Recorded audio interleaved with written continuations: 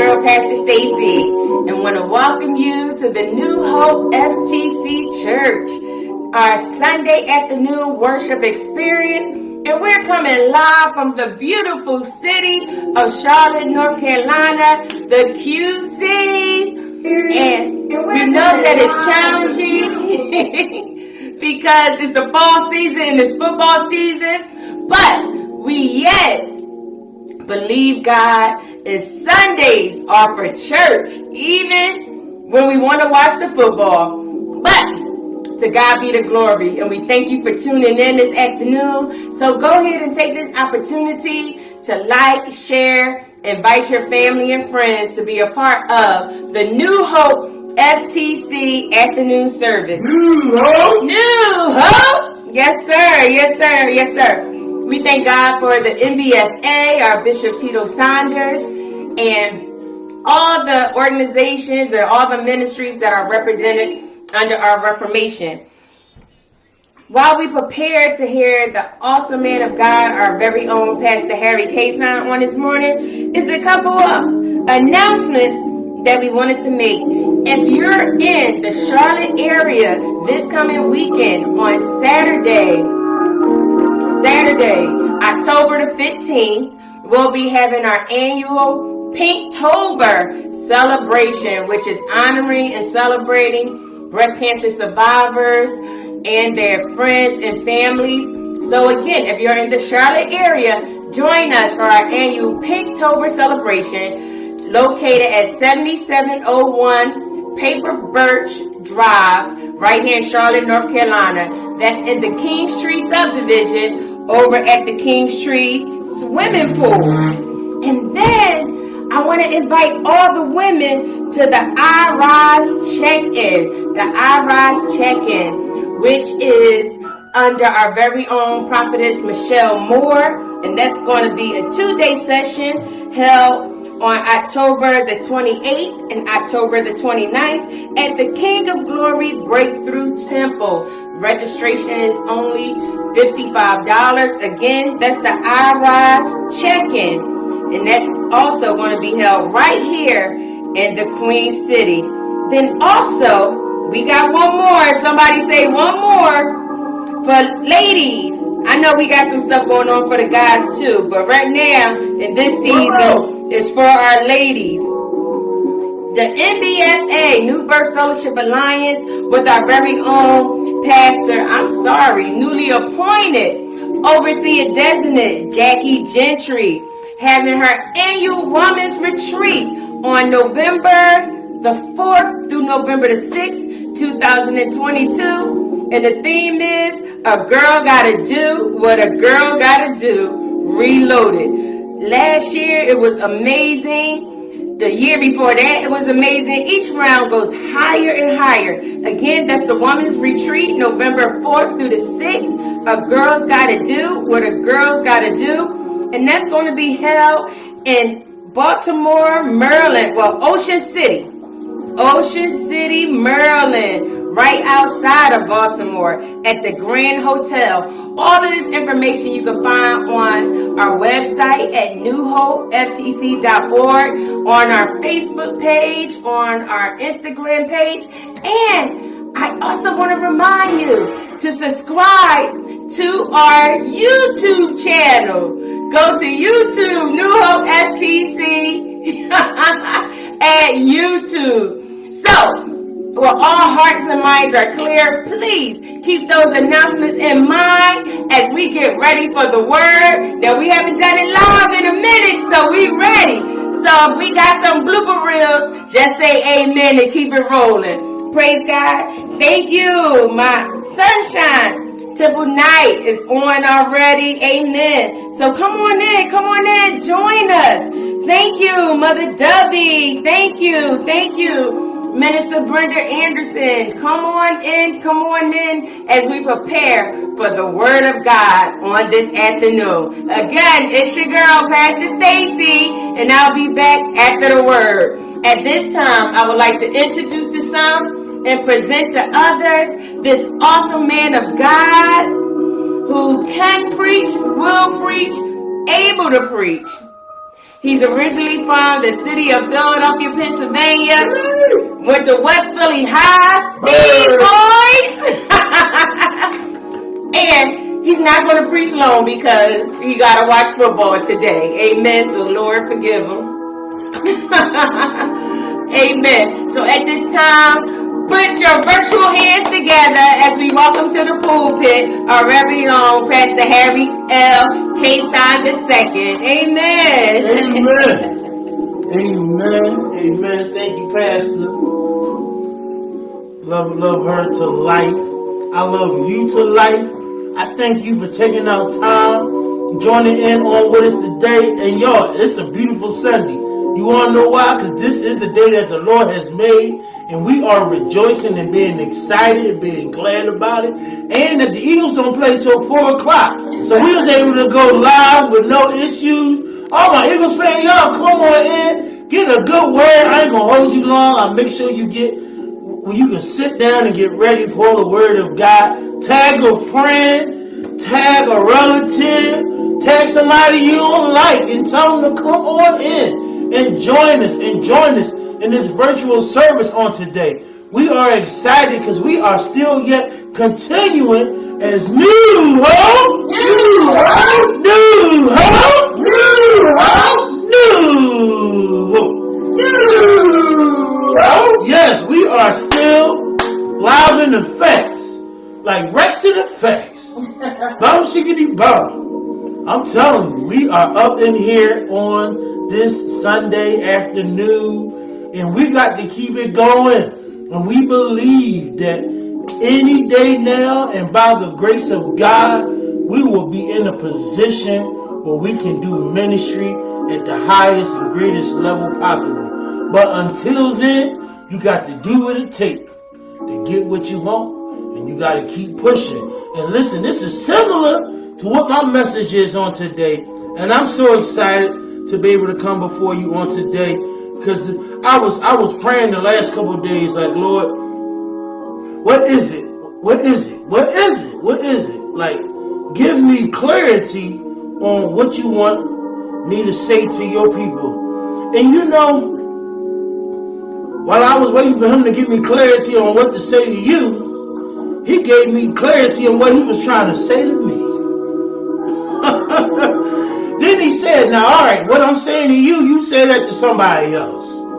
So I want you to know on today, this is a word not just for you, but for me as well.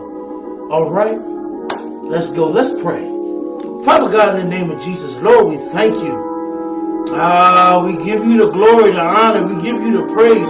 We exalt thee, O Lord. Ah, we thank you for being such a merciful, and a great God and a good God. If it wasn't for your mercy, wasn't for your grace, we might have done lost our minds. We might have just fell off into the world. Ah, but because of you, God, your strength, ah, we lean on you. We trust on you, God.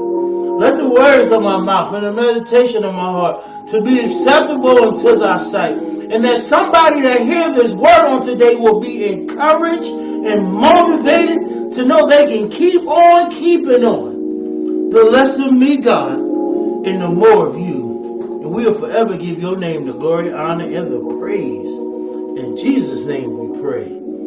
Amen. Amen. Amen. Praise God. Saints of the Most High God. So on today, on today, we are going to Isaiah, the 38th chapter, and the 15th to the 19th verse. Isaiah 38, 15 to 19. I'm going to give you a few moments, whether you have your Bibles out or you got your phones, your tablets, whatever device, whatever you use to read the word, go out and get it give you a couple minutes. If I was in the building, I would say, tell me to hold on if you ain't there yet. So I know some of you ain't there yet, so I'm going to hold on. listen, listen, listen. In this day and time that we living in, and considering that when 2022 came in, it seemed like, man, we got 12 months to go. Now it's October, and we already in October, like the ninth day of October. Oh, and before I go any further, October is a very, very, very, very special month to me. Because two people that I love so much, I love so much, this is their birthday. My baby boy, my mini me, little Harry, some know him as Kevin. His birthday tomorrow. Can y'all wish Kevin a happy birthday? Y'all wish Kevin, wish Kevin a happy birthday. My baby boy about to be 17. Oh my God. Like, we don't have no more little kids outside of the two grands. Ryan and Boo. But uh, wow, my baby boy gonna be 17. And then my big sister, she gonna be here with us in a couple days. She her birthday's on the 12th. I'm so grateful to life for her because I didn't have nobody, mom and dad was gone. She was there. And I love you, Joy. I hope you see this. And I want everybody to know outside of Stacy, is Joy. Two two female case size. she the one when I act up, she call her, but I'm gonna call your sister. I love you, Joy. I thank God for blessing you. He allowed us both to longer than both our parents. But by the grace of God, I thank God for your life. All right, let's go into the word.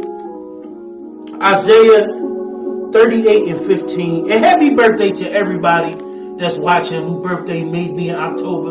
I want nobody to feel like they exempt. And if you are, put your name down on the screen. Whether you watching live or you come back later, say, hey, my birthday is such and such. We're going to give you a shout out as well. But them two, I definitely know. And I wanted both of them to know that I love them so much. And I thank God for their lives. Isaiah 38 and 15 it says, I'm reading from the NIV. But what can I say? He has spoken to me. He himself has done this, that I will walk humbly, all my years because of this. Anguish of my soul. 16. Lord, by such things people live and my spirit finds life in them too. You restored me to health, and you let me live. 17. Surely it was for my benefit that I suffered such anguish. In your love, you kept me from the pit of destruction and you have put all my sins behind your back. And for the grave cannot praise you, and death cannot sing your praise. And those who go down to the pit cannot hope for your faithfulness. In the 19th verse, living the living, they praise you as I am doing Parents, tell your children about your faithfulness. And my title on today is I'm not better, I'm better. Type it, write it down on the screen. If you're watching it live, all those on Facebook, Instagram, YouTube, write down I'm not bitter, I'm better. Hashtag I'm not bitter, I'm better. And you say, Pastor Harry, why you write, why you want me to write that? I want you to write this because of this. That in life, my first point is that sometimes hope and expectations sometimes go unfulfilled. Mm. I'm gonna stop and wait on that again, so I can give you a chance. You you turn the music down, Pastor. that sometimes turn the music down on the volume. Thank you. Sometimes hope and expectations go unfulfilled. And you say, all right, what you mean by that? They go unfulfilled sometimes because of us and not because of us. Sometimes our expectations and things that we hope for, God just don't do it. Is it because we did anything wrong? Because as as the as the writer was saying, he's like, what can I say? You spoken to me? I mean, what's happening is, is what you has allowed. And you know what? I'm going to be humble in spite of everything that's going on. Because of my years, and, and, and even though I'm in pain, I'm frustrated, I'm mad, I'm upset, I want to throw something through a glass window, I want to smack somebody in the face, I want to act like my man from the uh, Warriors the other day and just punch my teammate. Just straight knock that ball out. That's how I want to act. Because I'm in anguish, I'm mad, I'm upset, I'm frustrated. He said, But Lord, by these things people live, and my spirit finds life in them too. Like we all going through something, and we hope for things, we pray for things, we ask for things. And when those things that we want and are expecting to happen don't happen, we go through the situation of, wow, what did I do wrong? What could I did right? What should I did different? Why this? Why that? I thought it was going to go this way.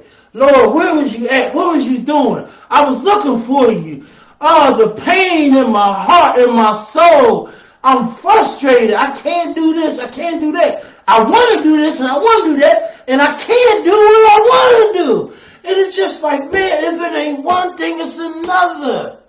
If it ain't problems on the job, if it ain't problems with your mate, if it ain't problems with the kids, if it ain't bills, if it ain't one thing, it's another. And you, you, you start to become bitter.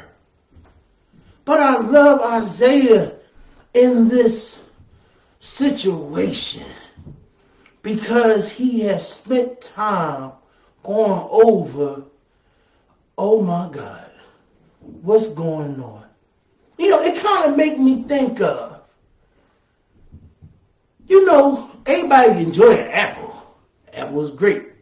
You know the apple won't be good before you bite it. Even if you bite it on the core, on the outside of the skin. Some people like to take time to rip the skin off. You know, but if you don't rip the skin off, it's still gonna be good. Do that to an orange.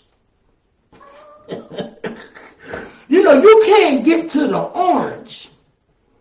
You can't get to the good part of the orange before you get past the bad part. Go buy the orange and don't peel it. Ooh, ain't that a nasty taste? And that's the bitterness. That's the the frustration. That's the you thinking you about to eat something that you enjoying, and then it turned out that oh man, I gotta get past this skin to get to the sweetness. Well, I want you to know on today, your bitterness is just the skin to your sweetness. Yes, you got to get past the bitterness to get better. Yeah, it tastes better at first, but once you get past that skin, it gets better, don't it? I'm telling you on today, get past the skin. The rye, I think they what they call it, something like that. But get past that and get to the sweetness. Get to the better. But in order for you to get to the better, you got to get past the skin. What I want to compare to that is, is life. Life, we got to get past the struggle. I love in that scripture where it says, it says that the grave cannot praise you. So I know I, I gotta praise you. In spite of everything that I go through, everything I go through, the grave cannot praise you, and death cannot sing your praise. He said, but if I go back a little bit, 17, but he said, in your love, your love kept me in the pit of destruction. And you have put all my sins behind me. We have to know that there ain't no situation that if he let you go in it, that he won't bring you out of it. Even if you got to go in the pit, if I could go through the Bible times, as my father used to say, I recall back in the Bible times, that there is so many illustrations of going through the hard times to eventually see it get better. Can you think of Daniel when he was thrown into the pit of the lions? Come on with me, Pastor. And when he was in the grave and they threw him down in the bottom, he was looking at how it was animals all around him. And he didn't know how he was going to get out. Know if he said to himself, how can I get past this bitter situation? But I know it's not going to stay this way. Because God going to find a way for me to get out. Because I'm not going to be better, but it's going to get better. I don't care what bitterness is going on in your life. I promise you on today, it's going to get better. It's going to get better. Yes. So you don't have to be bitter because what your current situation look like. Because you got to have the foresight to be able to see past what's in front of you. I heard a man say, I reckon the problems of this present time is not worthy to be compared to the glory that shall be revealed. You must understand, saints of God, that no matter what,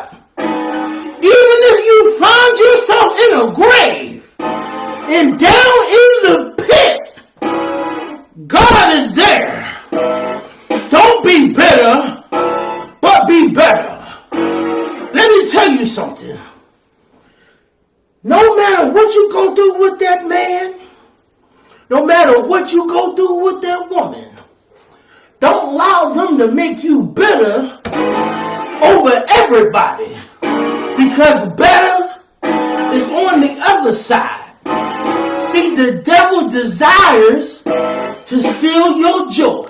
The devil desires to steal your peace. The devil desires to steal your love. But I want to encourage you on today. Don't let it go bad. I heard a comedian say the milk's going bad. But let me tell you something about bad milk.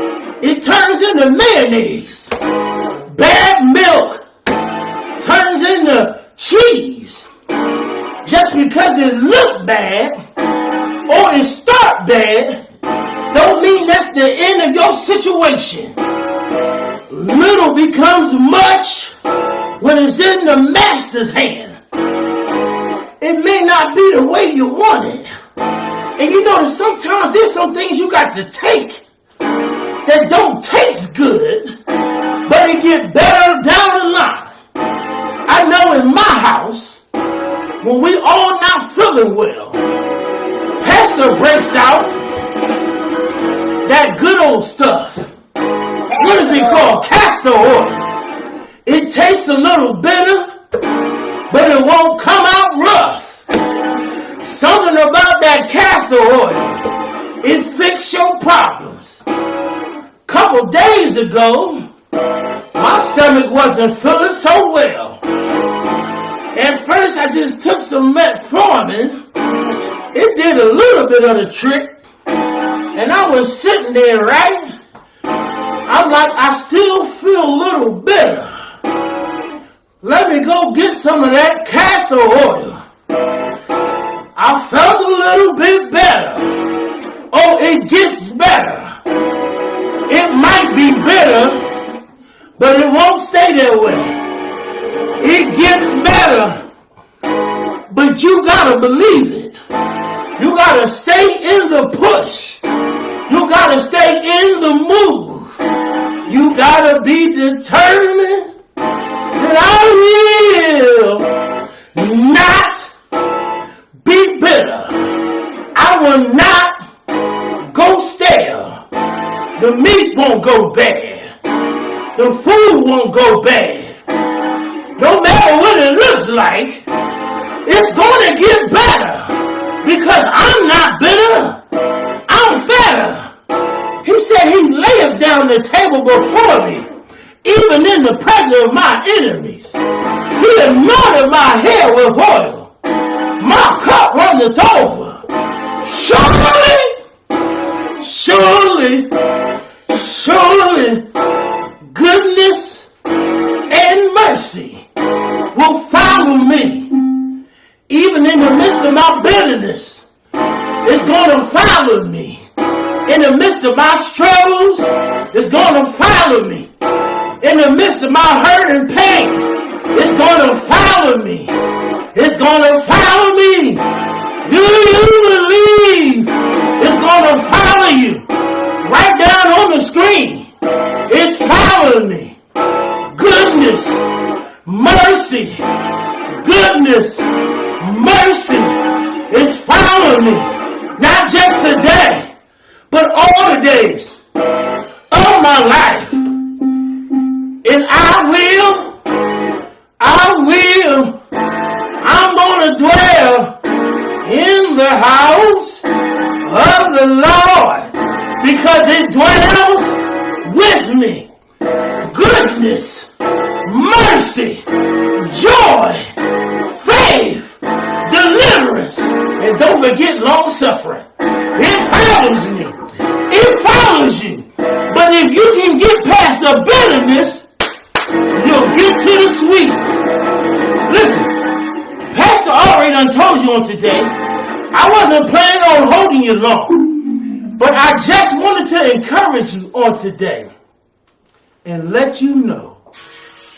that goodness and mercy shall follow you all the days of your life.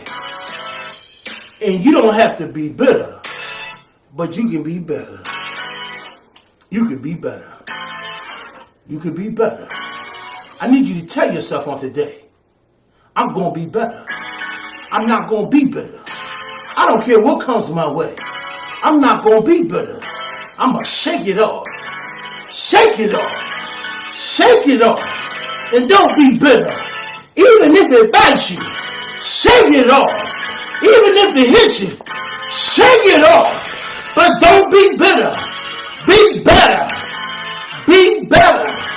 I'm saying to you because I need you to understand. I need you to be better. One of my deacons say, when you know better, you do better. And because you don't have to be better, act better. Don't be bitter. Be better. I'm done. I'm done. I'm done. I want to tell you on today. Be better. Be better. Be better. Focus on doing what you need to do. To be able that even when you find yourself in situations that sometimes might not even be your fault, and sometimes we suffer for righteousness' sake but you trust God and you be humble, even in your anguish. That he says, Lord, by such things I have to live with it, but my spirit finds life. There is yet still life, even in all the bitterness that I have to go through. And that 17th verse say, but surely it was for my benefit that I suffered such anguish God allows us to go through just to see if we can find the fine line, the silver lining in whatever the situation is? Can you find the best in whatever your situation is? I got a friend of mine right now. She had to go help her family on an issue with their driving situation. And what she do?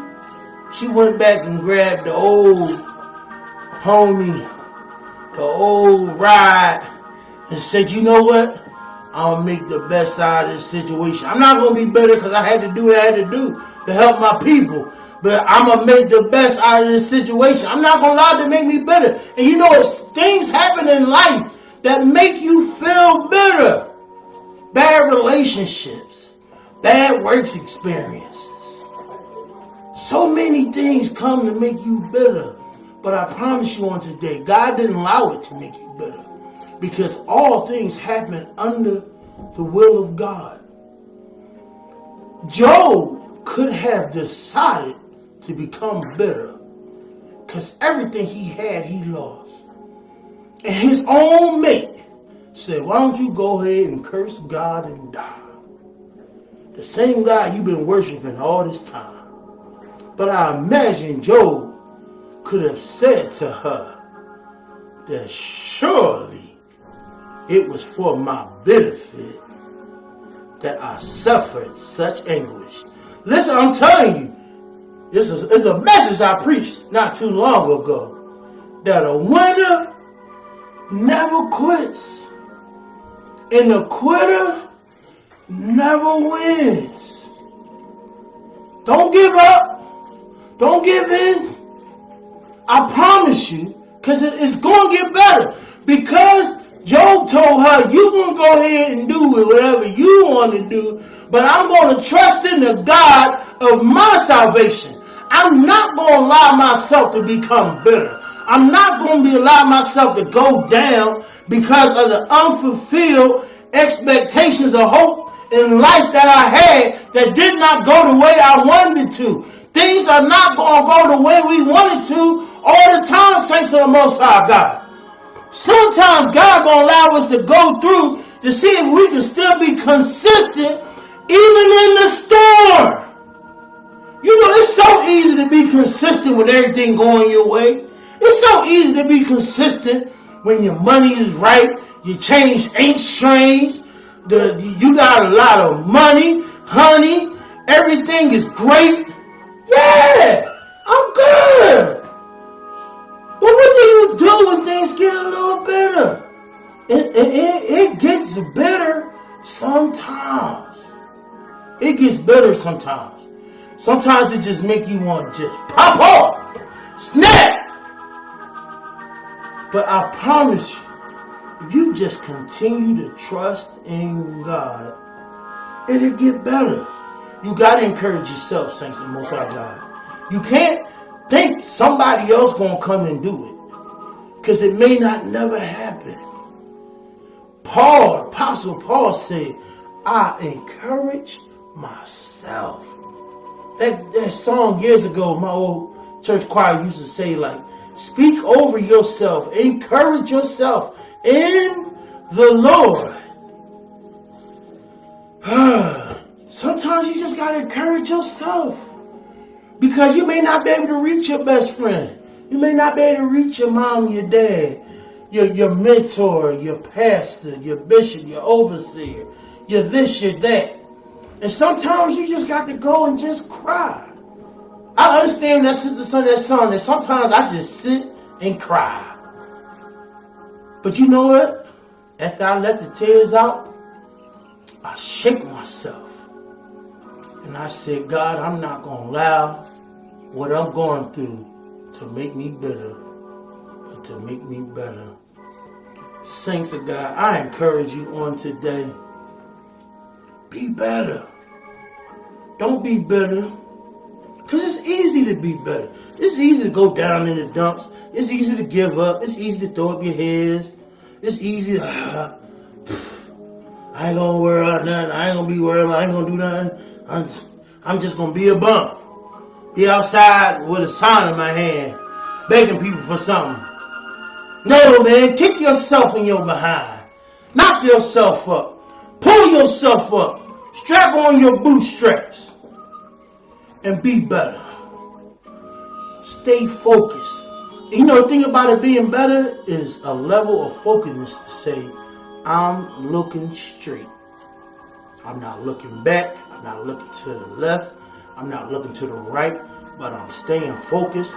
My eyes is on the prize, and I'm going to put myself in a position where things are going to be better. It was good that I went through this. Because these scriptures, the scripture says these light afflictions is only but for a while. And it was crazy because I had never read this part in Isaiah up until I was preparing for this message. Where he said, Surely it was my benefit that I suffered such anguish. But I love how he came back and said, But in your love, you kept me from the pit of destruction. In spite of what I went through, how low I went down, how crazy things went, how wild stuff was, that it didn't go too far that you didn't send me a lifeline.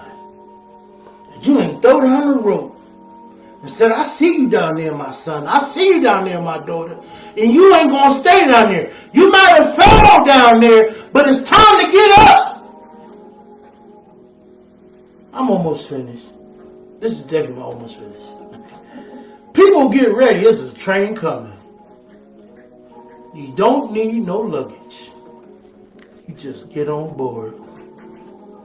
The train is here. Now's the time. If you want to be better, write down on that screen, I want to be better. I won't be better no more.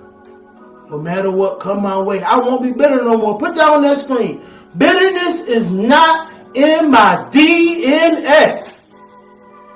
Hashtag bitterness is not in my DNA, but I am better. I'm going to think better. I'm going to walk better. I'm going to talk better. I'm going to be better. Because better is my inheritance. I love you guys on today. And I thank you for tuning in and hearing this word on today. This is something that you have to encourage yourself on. This ain't something you can depend on anybody else to do it. When when those rough times come and they gonna come, you gotta tell yourself, I'm better. I'm not better. I'm better. I'm not better. I'm better. I'm not gonna be better, but I'm gonna be better. I'm telling y'all this because this is what I tell myself. I'm going to be better. And sometimes, oh my God, ah, I could go on all day talking about this, this bitterness thing, because we all go through it. We all go through it in one type situation, form, or another. But you don't have to stay in the situation that you're in. Because the potter wants to make you better again. I thank you for coming and being a part of this service, this virtual service. Pastor Stacy and myself. I hope that you got something great out of this message. I hope that you was encouraged on this message. If you enjoyed this message, please like and share. Send it to somebody else that that you know needs some encouragement in their lives. People, somebody that you know that got some rough times going on, somebody you know that's going through some bitter times, and let them know, baby, honey child, brother, don't be bitter. Be better. God bless you.